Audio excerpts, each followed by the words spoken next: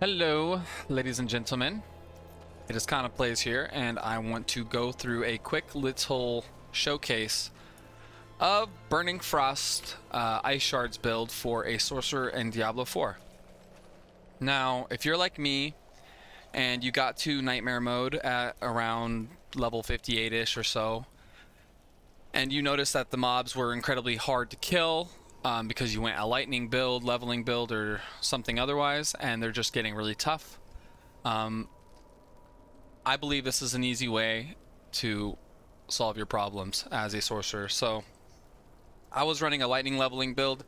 I had a lot of issues myself, and now I went ahead and followed the Mobalytics S tier guide by, I want to get the name correct, by Digit.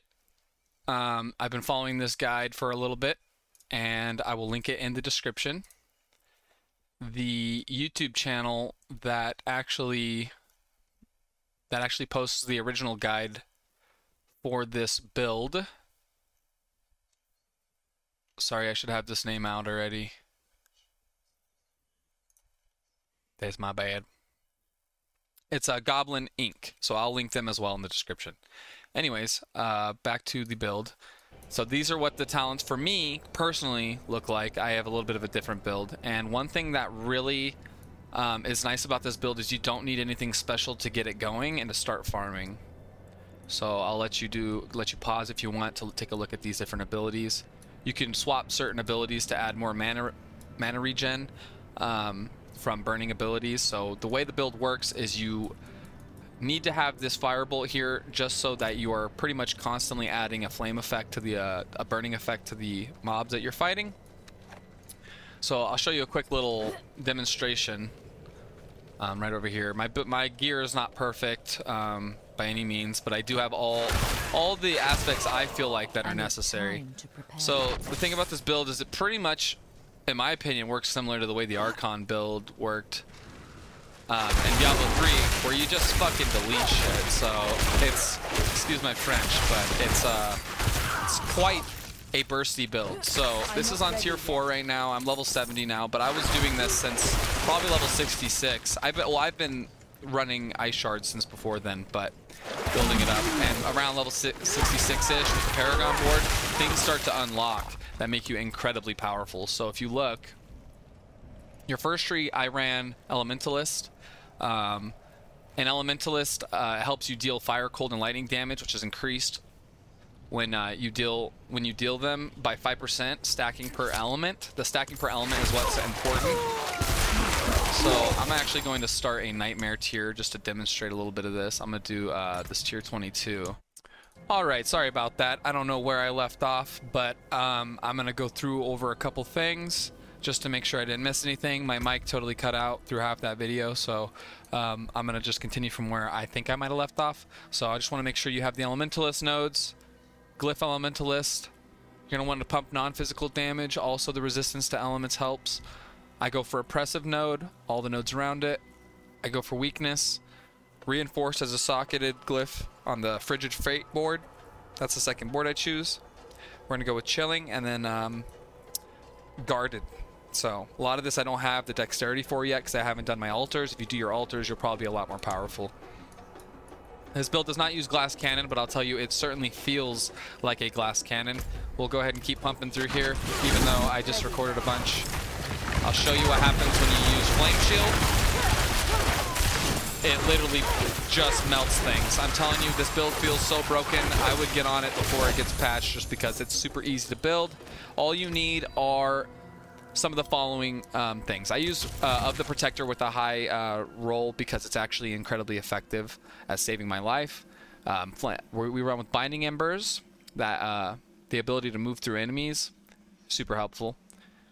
I run frostburn. I just got these last night. Um, thought they'd be a lot harder to burn or to, to farm, but that lucky hit chance and um, the lucky hit to freeze enemies is absolutely insane, including the 10% critical strike chance is nuts. Um, I, I, run Everliving. If I want to pump more damage, I run my Iceheart Brais, which does us a shit ton more damage to Frozen and Injured and increases my freezing duration and has a chance to release uh, Frost Novas.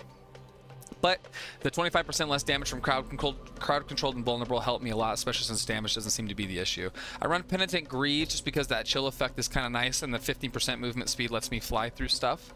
Um, I run Elementalist as a neck and Prodigies to restore uh, mana. Elementalist just helps you cast Mastery and Core skills at uh, above 100 mana, 60%, so it's a high roll, crap ton of critical strike chance. Um, this is the one I got last, so I flipped this around with just different things before. But now I finally got the Avalanche Key. Passive allows an additional cast. Um, and then also Ice Shards on my offhand, and make sure you get that lucky hit to restore mana. Um, and cooldown reduction would be nice on your offhand. So critical strike damage, vulnerable damage, and um, of control on your weapon to increase the damage you do to the frozen and immobilizer stunned. And then any of the affixes you get on your gear that increase those those things. It's going to help a lot. So, anyways, you want a lot of damage to CC as well, but you don't need to really stack this stuff. Oops, need another. My bad. So I just want to showcase just a little bit of its boss capabilities. I hope there is a boss at the end of this. If there isn't, then I will cut out and come back when there is a boss. Alrighty, we are pulling up on a boss now. I just want to show you the capabilities of this build on its burst damage against bosses. You're not really focusing on that stagger. You just want to pump them to death because you're not going to apply a lot of stagger. Um, I'm not ready yet. Don't stand and stuff either. That doesn't help. So she's level 76, you know, a little bit higher level than me sucks when you miss like that. Feels like you waste quite a lot of mana. Now the mana regen on bosses is one of the most annoying. Once you get her like this, look at that. Just, just deleted. Just absolutely deleted. Tier 22. It's nothing crazy. It's not like super hard tier. I'm just showing you a real basic thing, but absolutely insane. I'm currently upgrading both my Elementalist and my uh, Reinforced right now. So I'm doing Reinforced first. Getting that puppy to level 15. Gonna upgrade this guy as well. We're just going back and forth until I get them both to 15. So anyways, I hope this uh, little showcase helped, showed you how powerful it is. Maybe it's a new class you're going to play. If you do happen to feel stuck at Nightmare Tier 3 and you happen to have a little bit of a hard time staying alive or uh, killing enemies before you manage to, to live through it, you know, um, I feel like Ice Shards Burning Frost is a good build for you. Um, just before we go, we'll take a quick look at the site.